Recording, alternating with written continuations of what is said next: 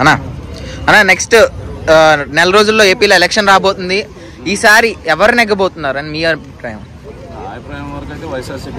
అనుకుంటున్నాను. ఎందుకన్నా? వైఎస్ఆర్సీపీకి ఎందుకు నెగ్గుద్దని అనుకుంటున్నారు వైఎస్ఆర్సీపీ ఎందుకు నెగ్గుతా అంటే అక్కడ చేసినట్టు డెవలప్మెంట్. చేసినట్టు పథకాలు అక్కడ చేసినట్టు అభివృద్ధి అవన్నీ చూసి వైఎస్ఆర్సీపీ అధికారంలోకి వస్తాను. అంటే ఉద్యోగాల ఉద్యోగ అవకాశాలు లేవు కదా? ఏపీ ఏపీలో? ఇప్పుడు ఉద్యోగ అవకాశాలు అనేది మొన్ననే టీచర్ పోస్టులు కూడా వదిలింది కదా గవర్నమెంట్ అంటే ఎలక్షన్ ముందు వదలడం అది గ్రామ సచివాలయాల పోస్టులు ఉమ్, అవన్నీ వదిలింది కాబట్టి కాబట్టి మళ్ళీ అధికారంలోకి వైఎస్ఆర్సీపీ వస్తాను. టీడీపీ జనసేన కలిసి వస్తున్నాయి కదా? ఏమన్నా ప్రభావం పడుతుంది అంటారా ఏం ప్రభావం పడదు. రెండు వేల పద్నాలుగు కూడా కలిసి వచ్చారు కదా. అంటే ఇప్పుడు పవన్ కళ్యాణ్కి కొంచెం ఓట్ బ్యాంక్ పెరిగింది. టీడీపీకి కూడా కొంచెం ఇదిగా ఉంది. ఓట్ బ్యాంక్ ఏం పెరగలేదు. ఓట్ బ్యాంక్ ఏడు పెరిగింది ఓట్ బ్యాంక్ పెరగలేదు. ఓట్ బ్యాంక్ అంటే తగ్గింది తప్ప పెరగలేదు. ఇప్పుడు ఇరవై నాలుగు సీట్లు అనేది వాళ్ళ పొత్తుల్లో భాగంగా ఇచ్చింటారు. ఇప్పుడు ఇరవై నాలుగు సీట్లు ఇచ్చినప్పుడు ఇరవై నాలుగు సీట్లలో కనీసం అంటే ఇరవై అయినా గెలిస్తే టీడీపీ పార్టీ అధికారంలోకి వచ్చే ఛాన్సెస్ ఉంటాయి.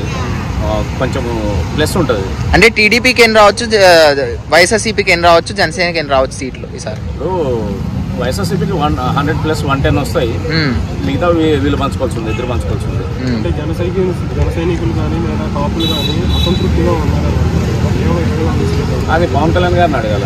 పార్టీ యాజ్ ఏ పార్టీ అధ్యక్షునిగా ఆయన తీసుకోవడం అది తప్ప అది. ఇప్పుడు టికెట్లు ఎన్ని తీసుకుందాం అనేది ముఖ్యం కాదు.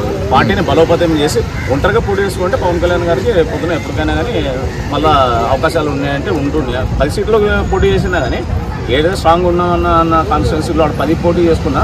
పదికి పది గెలిచేటట్టు టార్గెట్ పెట్టుకోవాలి కదా తప్ప ఆయన అడుక్కొని పోయి ఇరవై నాలుగు సీట్లు ఇచ్చేస్తే ఇరవై నాలుగులో ఇరవై నాలుగు గెలిస్తే పర్వాలేదు.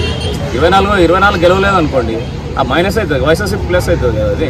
అంటే నిన్నటిదాకా ఉచితాలు ఇచ్చి సమర్పోతలు చేస్తున్నారన్న చంద్రబాబు గారు. ఇప్పుడు నేను అందుకన్నా ఎక్కువ ఇస్తాను సూపర్ సిక్స్ అని మేనిఫెస్టో తీసుకొచ్చి నేను ఎక్కువ ఇస్తాను? అవునండి అదే చెప్తున్నాం కదా. అంటే మనం ఇచ్చినప్పుడేమో కరెక్ట్ ఉంటుంది. వేరే వాళ్ళు ఇచ్చినప్పుడు కరెక్ట్ ఉంటుంది అనమాట వీళ్ళే కదా ఈ మీడియా రాసింది మొత్తం. అంటే తెల తెల వీళ్ళు రాసినదే కదా. శ్రీలంక అవుతుంది జింబాంబే అవుతుంది వెళ్ళి వీళ్ళు రాసిన పొద్దున్న లేచినప్పటి నుంచి రాసినారు కదా వీళ్ళు. అంటే ఈయన ఇస్తేనేం కాదు ఈ జగన్మోహన్ రెడ్డి ఇస్తేనే శ్రీలంక జింబాంబే అవుతుంది. అంటే తెలంగాణలో ఇంద్రమ్మ ఆరు పథకాలు అని చెప్పి రేవంత్ రెడ్డి ఎలా అయితే చేశారో అలా టీడీపీ సేమ్ ఆరు పథకాలు అనౌన్స్ చేసింది. సో ఇది ఇది ఏమన్నా కాపీ కొట్టినట్టు అనిపించిందా?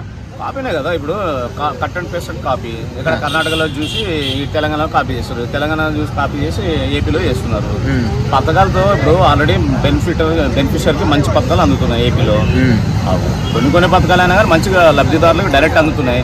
సో కాబట్టి అవి చూస్తారు కానీ మళ్ళీ వచ్చేదాన్ని ఎవడు చూడట్లేదు. గ్రామ సచివాలయాలు కానీ వాలంటీర్ వ్యవస్థ కానీ బ్రహ్మాండంగా నడుస్తుంది ఏపీలో.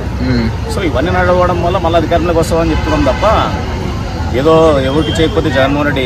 జగన్మోహన్ రెడ్డి ఏం చెప్పారు సీఎం గారు నాకు నచ్చితే ఓటేయండి. నేను నాకు నచ్చకపోతే ఓటేద్దామని చెప్తున్నాడు. ఏ సీఎం చెప్తాడు? చెప్పండి. ఫైనల్గా ఏ- ఏది వస్తుంది అంటారు ఈసారి? వైఎస్ఆర్సీపీని అధికారంలోకి వస్తారు రైట్ అండ్ థ్యాంక్ యూ